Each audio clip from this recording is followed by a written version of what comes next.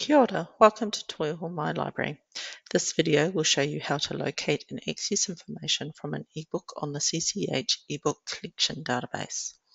This database is a collection of legal and taxation textbooks. These are freely available to staff and students of Toi Ohomai Institute of Technology. All the titles on this database have an unlimited license so you can access every time. Please log into your library account using your Toi Ohomai login and password if not currently logged onto one of the Institute's computers. Please click Databases. From the list, please click See. Then choose CCH eBooks. This will take you to the platform for CCH eBook database. Please click Sign In.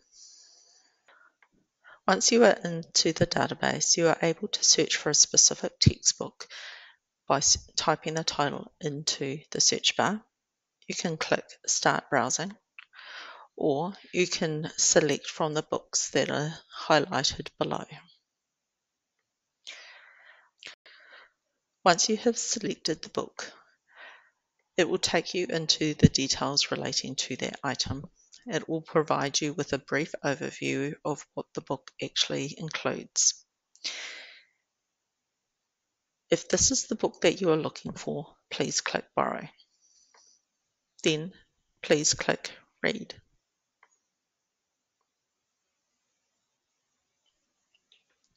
Once you click Read, the entire ebook will be downloaded into the system that you are using. You are able to search in this book in multiple ways. One of them is using the table of contents and the other is using the search function. First, we'll show you table of contents. From the list of table of contents, you can select the chapter that you're looking to read. You can move within this book at any stage, so you can go forward or back. The first time that you go into the book, a pop-up box will provide you with the option of changing the background color as well as the font style. If you are happy with what is provided, just close this box.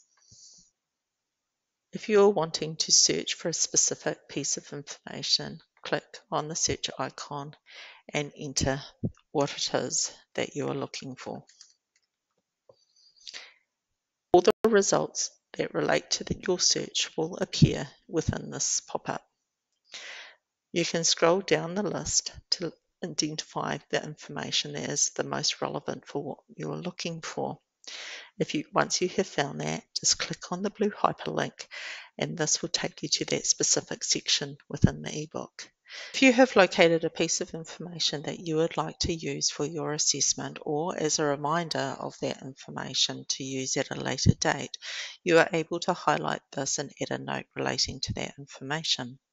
To do this, move the cursor to the first part of what you would like to copy. Click, hold down so you can highlight the text. Click the pop-up highlight option. Add your note if you wish. You can change the color of the highlighter if you wish. Then click the tick. Please be aware that once you've changed the color, any future highlighting will default to that color. To manually move between the book, you can use the side arrows to go forward or back. You can also use the arrows at the bottom of the page. Once you're finished with the book, click the back arrow. If you would like to search for another book, you can click Library. And again, you can go Start Browsing or Search function. If you want to see what you currently have on loan, you can click on Loans. All the books you currently have on loan will be displayed and it will tell you when the book will expire. If you want to be able to locate your Notes and Highlights, please scroll down and under Account click My Notes and Highlights. On this page, you will find the books that you have on loan that you've added notes and highlights. Note will be at the top of the box and the text that you have highlighted will be below that. You can remove that by clicking on the X. This is also how you can locate information from books that may have returned off your account. Although the book is off your account, your notes and highlights remain. If you need help to search or access a specific resource, please contact the library for help. Contact details are located on the library page. You can contact us by emailing, phoning us, or popping into one of our two locations.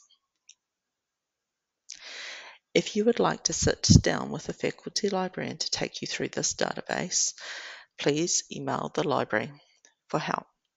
In the email, please include your name, how you would like to be helped, the course you're currently enrolled on, which campus you are based on, or whether you're a distance student. This all helps us to help you. A librarian will get back in contact with you as soon as they possibly can.